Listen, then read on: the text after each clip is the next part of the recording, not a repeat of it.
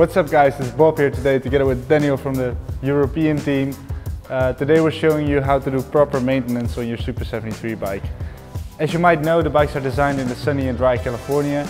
Uh, so if you're riding the bikes in uh, European or other wet climates, the bikes need some added care. Uh, and today we're showing the various precautions you should take in order to keep your bike in a perfect condition. So we're going to start with giving the Super 73 RX a good clean uh, and we start by covering up the display to avoid water infiltration. Make sure to never ever use a high pressure washer uh, on your bike as this may cause water infiltration or may damage any electrical parts on your bike. Clean your bike on a regular basis using soapy water or any specific fast action cleaner you can find in your regular bike shop. Apply the product to the bike and let it soak for a few minutes.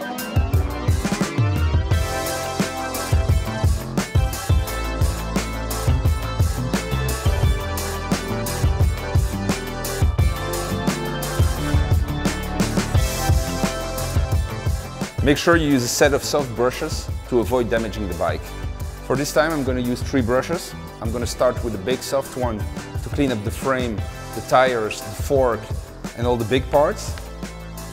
Then I switch to this brush, this kind of brush, to clean the rims in between the spokes. And I finally finish with this kind of brush to clean up your back cogs and your chain.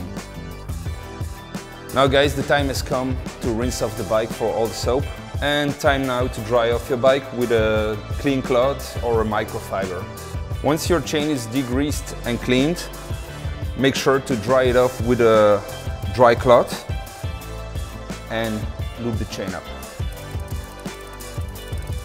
Time now to finish up your maintenance session using a protective film on your frame and all the other parts except your rotors and your brake pads. Be sure not to contaminate them.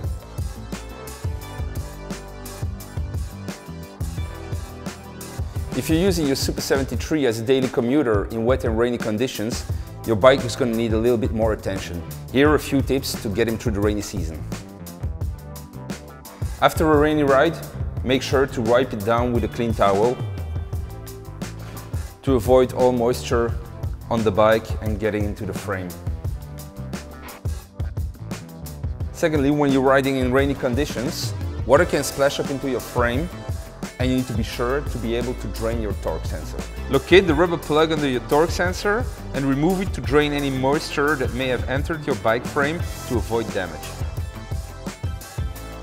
So for weather affected areas, this is a response or precaution you should take to avoid water building up in your torque sensor uh, and cause any damage.